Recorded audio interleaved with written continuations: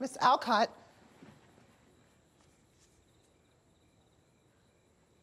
Are you bleeding again? Nicolette, what are you doing here so late? I'm usually here all day. Sorry, what are you holding? It's, it's um, a, a dead animal. But I'm not sure if it's if it's dead, so Oh my God. I'm an animal lover, so I'm seeing if I can nurse it back to life. It doesn't appear to be moving. Go home to your own baby, Nicolette.